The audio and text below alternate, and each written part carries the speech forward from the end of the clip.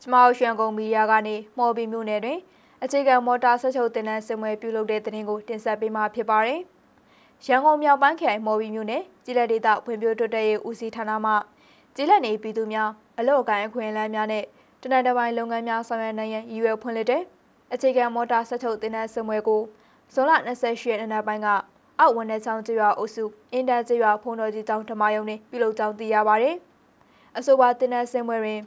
ရန်ကုန်မြောက်ပိုင်းခရိုင်ကျေးလက်ဒေသဖွံ့ဖြိုးတိုးတက်ရေးဦးစီးဌာနခရိုင်ဦးစီးမှုဥပသိန်းကတင်နန်းစင်မာစကာပြောကြားကမြို့နယ်ဦးစီးမှုဦးတင်စိုးနှင့်တာဝန်ရှိသူများကတင်နန်းသားတင်နန်းသူများအားတင်နန်းစင်လက်မှတ်များပေးကြပြီး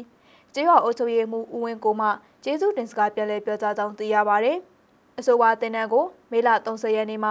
ဇွန်လ28ရက်နေ့အထိတလားစာဖွင့်လှစ်ခဲ့ပြီးတင်နန်းတို့ကျေးရွာနေပြည်သူ26ဦးတို့တရောကြကြောင်းသိရပါဗျ။ဒီသတင်းကိုတော့စင်မဲထိုက်ကပေးပို့ထားဖြစ်ပါရဲ့ရှင်။